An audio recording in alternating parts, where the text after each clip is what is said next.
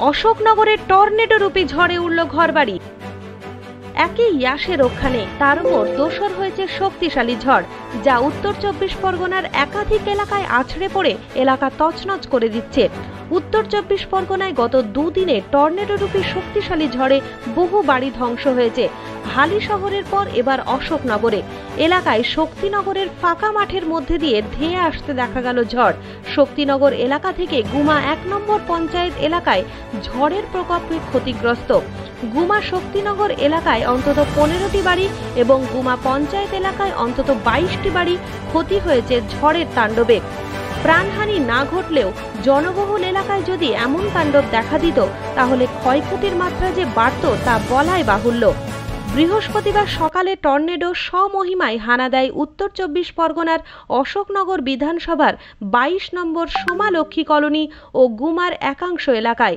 ঠিক হালি শহরের মতন বিধ্বংসী রূপ নেয় এই ঝড়।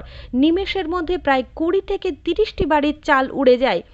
গতকালই মুখ্যমন্ত্রী মমতা বন্দ্যোপাধ্যায় সতর্ক করেন রাজ্যবাসীকে যে কোথাও কোথাও টর্নেডো হতে পারে।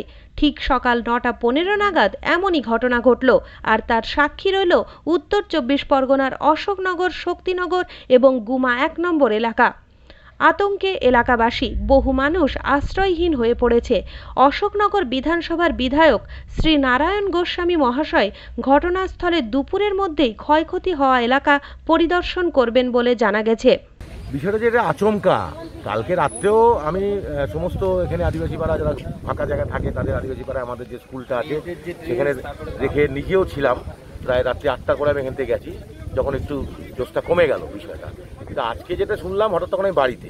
হঠাৎ ফোন গেল যে একটা টর্নেডোর মতন দশ মিনিটের মধ্যে একটা আগুনের দলা বা এরকম একটা ঝড় এসলো, এসে এখান থেকে ধুলিসাত করে নিয়ে শক্তিনগর, সর্দারপাড়া এই দিক দিয়ে খ্রিস্টানপাড়া দিয়ে ঘুরে একটা টর্নেডোর মতন এসে সব ধুলিসাত করে নিয়ে চলে গেল।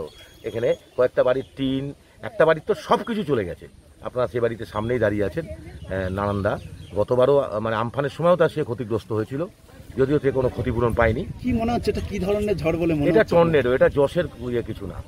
এটা যেটা যা দেখেছে যারা বিশেষ করে মানে ভালো করে দেখেছে আদিবাসী পাড়ার লোকেরা তারা যেটা বলছে এটা একটা টাইপের টর্নেডো টাইপের তারা ভয় পেয়ে গেছে রীতিমতো। একটা আঙুলের দলার মতন বেরিয়ে আসছে বেরিয়ে এসেছিল। যা যারা প্রত্যক্ষদর্শী কটা বাড়ি এরকম উড়ে গেছে শুনছি তো একুশ বাইশটা এখনও যা দেখছি। তারপরে এখান থেকে আবার একটা টাংটাং পাড়া আছে সমলক্ষীর দিকে যেতে। ওখানে এখনও যাইনি আমি কতটা ক্ষতি হয়েছে জানি না। আর এদিকে কালীনগরও কিছু টিন টিন উড়ে গেছে। ঘরে উড়ে গেছে তাই? হ্যাঁ। কি করে কোথায় ছিলেন? কি করছিলেন? আমি ওই বাইরে ছিলাম। হঠাৎ কি দেখলেন? দরজা দেখলাম দরজাটা দেখলাম ঝাপাচ্ছে আমি ঘরে ঢুকতে গেছি ঘরে ঢুকতে গেলে কি সব উড়ে গেছে কিছু নেই। মানে মিনিটের মধ্যে সব শেষ হয়ে গেল। ঘরে তখন কে কে ছিল? ঘরে কেউ ছিল না আমি এখানে একাই থাকি। আপনি দেখেছিলেন তখন? ঝড়টা? হ্যাঁ? না আমি বাইরে ছিলাম তো। কি দেখলেন? কোনো শব্দ পেয়েছিলেন? শোষ আওয়াজ হয়েছে। কি দেখলেন? আমি তো উপর স্যার আমি তো দরজাটা খুলে ঘরে ঢুকতে গেছি। ঘরে ঢুকে দেখেছি ঘরে কিছু নেই। কিছু নেই। কতটা আতঙ্কিত? আতঙ্কিত আমার বুকের দুঃখ তো কমছে না এখন। উত্তর চব্বিশ পরগনা থেকে বিশ্বজিৎ অধিকারীর রিপোর্ট টাইমস বাংলা।